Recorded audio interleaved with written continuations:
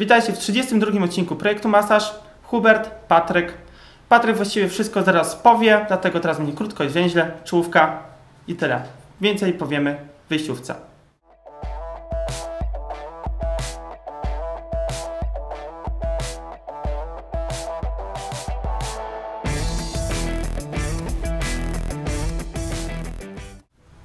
Trzeci odcinek serii Drenaż limfatyczny, metoda niemiecka według Wodera. I tak, zanim zaczniecie oglądać e, to, co dzisiaj robimy, czyli drenaż klatki piersiowej, zachęcamy Was do przejrzenia pierwszego filmu, e, gdzie mówiliśmy o teorii drenażu limfatycznego, co to jest drenaż limfatyczny, to jest układ limfatyczny, po co ten zabieg się wykonuje, komu i dlaczego. E, Natomiast tydzień temu zajmowaliśmy się drenażem limfatycznym grzbietu, też zachęcam Was do oglądania. Będzie to bardzo podobny schemat do tego, co pokażemy dzisiaj. Także teraz trenujemy klatkę piersiową. E, Zapraszam. Mam nadzieję, że wszystko zostało zawarte w filmie. Jeśli nie, to piszcie do nas, e, my postaramy Wam się odpowiedzieć. Ja jeszcze tylko powiem o tej metodzie Wodera, ponieważ e, to, co my pokazujemy, to jest ściśle z książeczki, gdzie możecie zobaczyć sobie to opracowanie właśnie drenażu metodą niemiecką. Nic nie dodajemy od siebie, nic nie wycinamy. Także to jest aku 100% metody niemieckiej, e, tak jak powinno to się robić, czyli ta prostsza metoda e, wykonania drenażu, bo nie jest, jest, jest jeszcze polska, a ta jest dużo prostsza i, i dużo inna. E, wiem, że pojawiły się jakieś komentarze na YouTubie i nie każdy może spodobać się ta metoda, natomiast warto było mniej więcej wiedzieć, jak ona wygląda i mieć porównanie z tą metodą, którą uczymy się w studium czy tam na kursach w Polsce, czyli metody z. Zapraszam, mam nadzieję, Wam się spodoba. Drenaż klatki piersiowej, metoda niemiecka opracowana przez Wodera. Drenaż, który przedstawimy Wam dzisiaj, pokażemy Wam dzisiaj, jest bardzo podobny do drenażu e, grzbietu, który był tydzień temu. Jest opracowana klatka piersiowa, a więc dalej zajmujemy się węzłami chłonnymi pachowymi oraz obszarem, e, jaki one filtrują. Czyli będzie to tak naprawdę ten obszar od okolicy nawet obojczyka, cała klatka piersiowa, okolice mostka z razem z piersiowy, piersiowym, ale przede wszystkim węzły chłonne pachowe. Dlatego odsłaniamy sobie rączkę delikatnie, odwodzimy ją, po to, żeby mieć dobry dostęp do e, węzłów chłonnych. I zaczynamy sobie tak. Troszkę oliwki.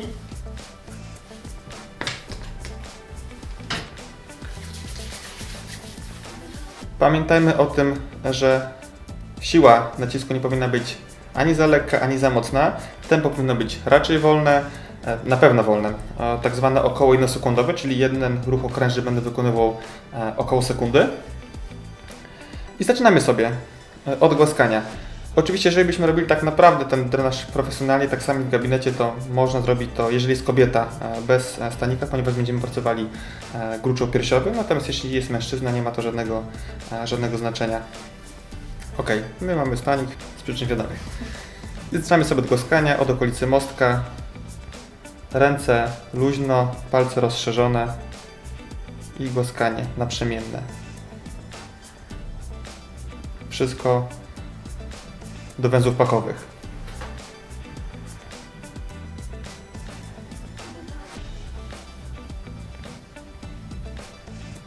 Po głaskaniu przechodzimy do pierwszego ruchu. E, Będzie to rozcieranie ruchy, staw ruch okrężne węzłów chłonnych pachowych, więc szukamy tych węzłów chłonnych, a następnie takie sprężynujące rozcieranie. 4, 5, 6, 7. Ok, 7 razy.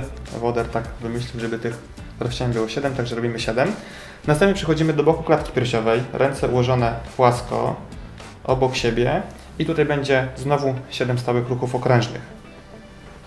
Raz, dwa, trzy, cztery, pięć, sześć, siedem. Zobaczcie sobie, że robiłem to w takim właśnie tempie około jednosekundowym, czyli jeden, jedno okrążenie, jedna sekunda.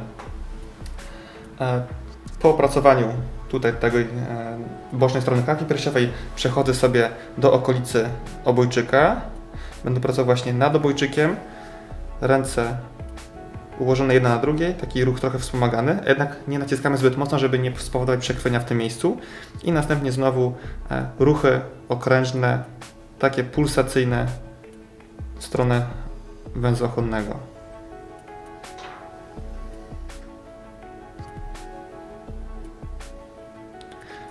O, chyba było Chyba było 7.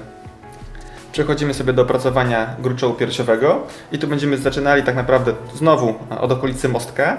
I teraz tak, lewa ręka, czyli ta ręka bliżej głowy, będzie wykonywała e, chwyt obrotowy, który już znacie z drenażu grzbietu, a więc będzie to wyglądało tak, że ja będę robił taki naprzemienny nacisk i przesuwał się trochę do dołu w ten sposób. Natomiast e, prawa ręka, ręka dalej, e, od strony ogonowej, będzie wykonywała tak zwany chwyt czerpokowy, czyli o, będę dokładnie tą limfę przesuwał w stronę e, dołu pachowego.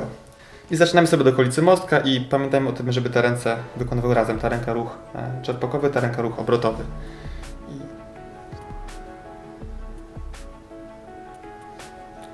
Tutaj może za dużo tego nie widać. Dochodzę do okolicy sutka i kończymy. Możemy powtórzyć jeszcze raz ten ruch. Okay. Delikatnie dochodzę do sutka i kończymy. Dobra.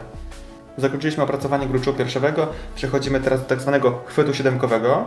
Będzie to chwyt pod gruczołem piersiowym, jeszcze na dolnej e, części klatki piersiowej. Polega on na tym, że wykonuje cztery ruchy obrotowe, tutaj na żebrach, a na, potem e, trzy ruchy, stałe ruchy okrężne obiema rękoma, tak jak miało to miejsce po bocznej stronie, opracowanie bocznej strony klatki piersiowej już wcześniej. I zaczynamy sobie ruch obrotowy. Raz, dwa, trzy, cztery. Raz, dwa, trzy. Powtórzę to jeszcze raz.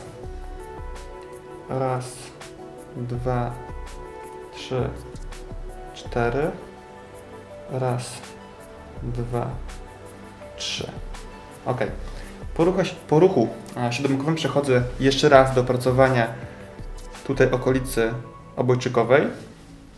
Jedna ręka na drugą i 7 ruchów stałych okrężnych. Raz, dwa, trzy, cztery, pięć, sześć, siedem. Ok, zrobiliśmy.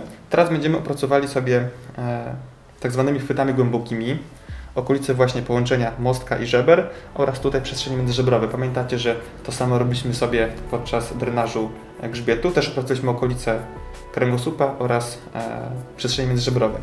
I tak samo będzie miało to miejsce. Szukam sobie tutaj w okolicy mostka przestrzeni międzyżebrowych i wykonuję takich głębszych ruchów, e, tak samo siadam w stronę do głowy. Okay.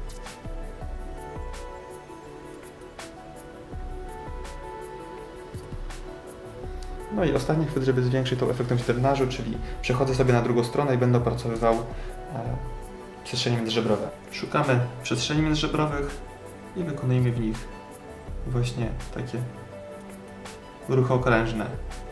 Palce luźno.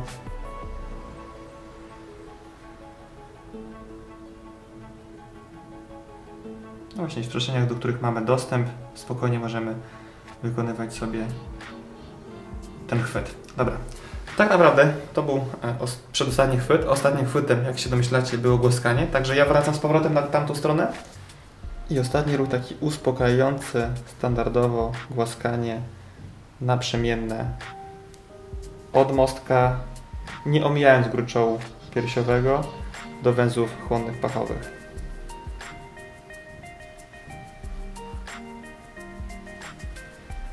Ok. Drenaż limfatyczny klatki piersiowej zakończony. No i tak naprawdę już mamy dwie części. Myślę, że w następnym odcinku przejdziemy sobie e, albo do twarzy, albo do kończyny górnej. Zobaczymy jeszcze, jak to będzie wyglądało. I tyle. Dzięki, że nas oglądaliście. Właściwie nie mam już nic do dodania. Patryk, chcesz jeszcze coś powiedzieć, dodać? Okej, okay, Patryk dzisiaj nic nie powie, ale powiemy jeszcze Wam o pogadance. W ostatnim czasie rozmawialiśmy z serwisem Masażysta na wiele ciekawych tematów, także kontrowersyjnych. E, link macie tutaj pod spodem. Naprawdę warto obejrzeć. I właściwie tyle. Widzimy się za tydzień z kolejnym odcinkiem z drenażu limfatycznego. Do zobaczenia za tydzień. Cześć!